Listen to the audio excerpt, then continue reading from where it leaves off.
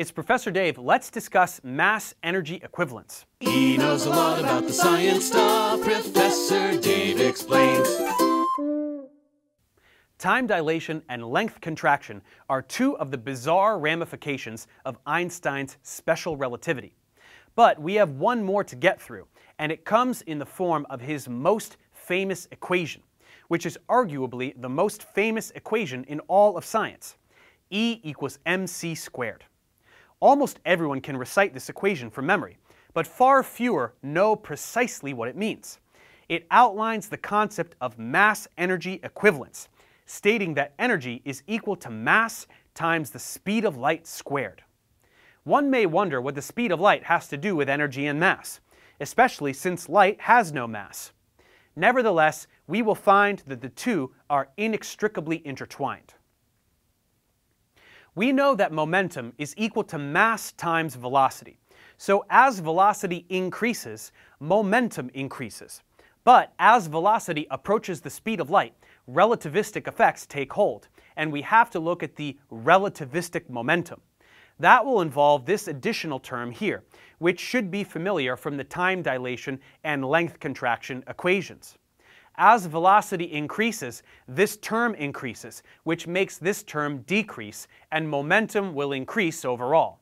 It is the square of this relativistic momentum, known as a Lorentz invariant, that is conserved in all inertial reference frames. At speeds much less than the speed of light, there is only negligible difference between the relativistic and non-relativistic momenta, which is one of the reasons that special relativity is imperceptible in our everyday lives. But as an object approaches the speed of light, it gains momentum exponentially, and the momentum approaches infinity as the velocity approaches the speed of light.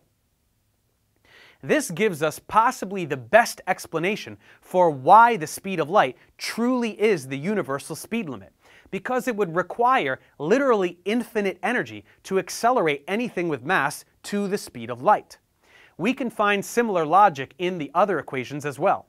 With time dilation, we can see that time slows down as you go faster, with the limit of something moving the speed of light experiencing zero time.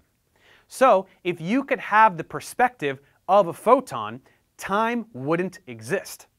To move faster than this would mean experiencing imaginary time, because you would then be taking the root of a negative number, and this can have no correlation with physical reality.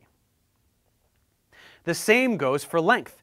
In the limit of the speed of light, distances contract to zero, so a photon experiences zero space as well. To go faster than this would mean measuring imaginary length, which again is absurd. Beyond this, faster than light travel implies problems with simultaneity, whereby an effect could happen before its own cause, which violates causality. So we must accept that for all these reasons, the speed of light absolutely can never be attained or surpassed by any massive object for reasons that are fundamental not just to physics, but to mathematics and logic as well.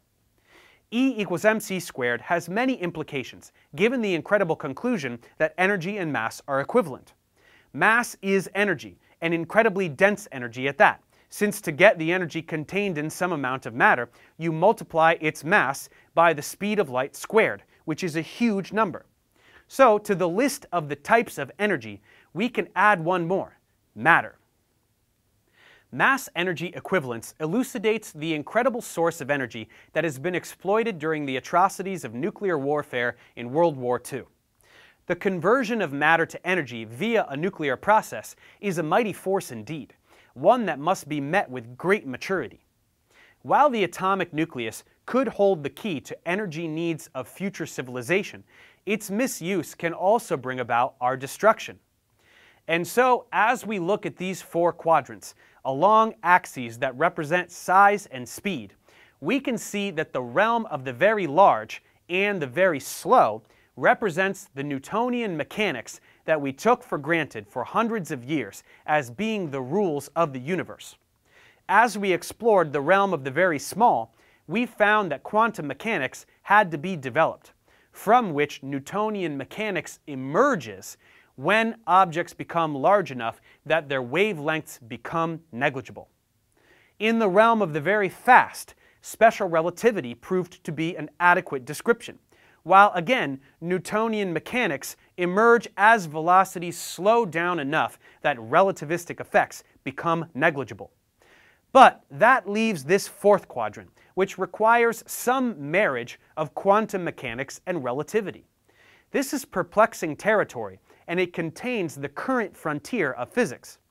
Later in this series, we will outline our current progress towards a grand unified theory that can explain all known phenomena.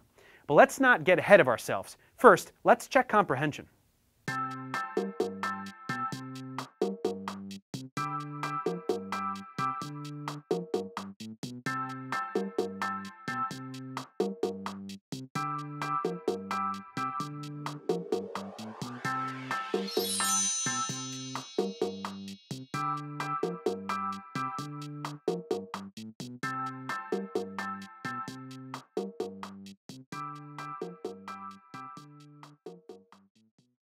Thanks for watching, guys. Subscribe to my channel for more tutorials. Support me on Patreon so I can keep making content. And as always, feel free to email me, ProfessorDaveExplains at gmail.com.